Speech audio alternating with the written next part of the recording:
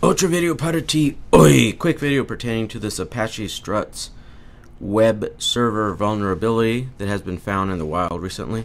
Actually, this was patched two days ago.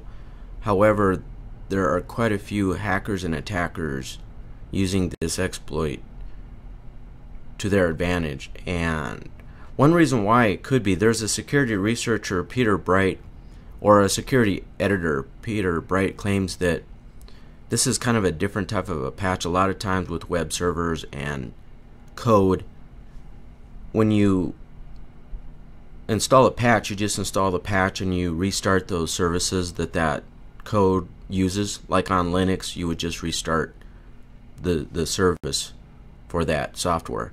Whereas in th this case, this Apache Strut software, it's open source. It's open source to the public. However, this requires that you have you have to recompile that software.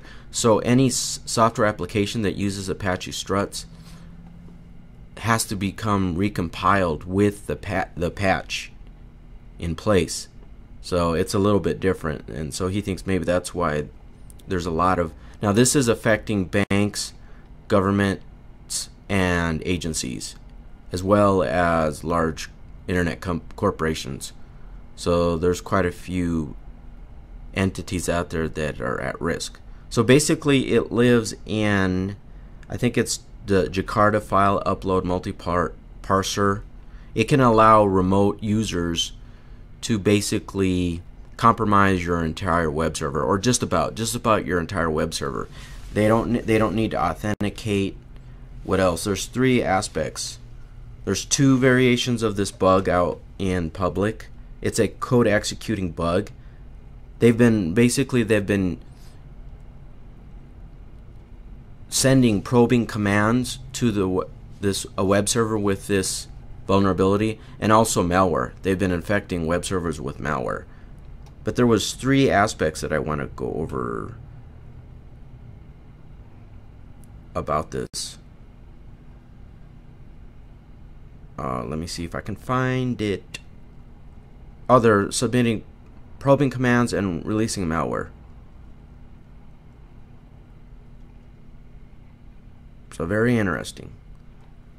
It doesn't affect me, my website, I don't use this Apache struts. Oh, this is probably important. If you have Apache struts version 2.3.5 to 2.3.31, you want to upgrade that. If you have Apache struts 2.5 through 2.5.10, you want to upgrade. And you want to up upgrade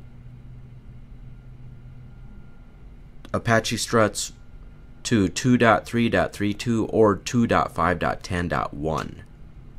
You should upgrade immediately, but you're going to have to recompile that code. Oh, here, here's the three main points I want to go over. Muy rápido. It requires no authentication. It's highly reliable. These exploits are highly reliable, and they're pretty easy to implement for hackers, attackers. So there was an Apache Struts web server vulnerability, security vulnerability found active. Adios.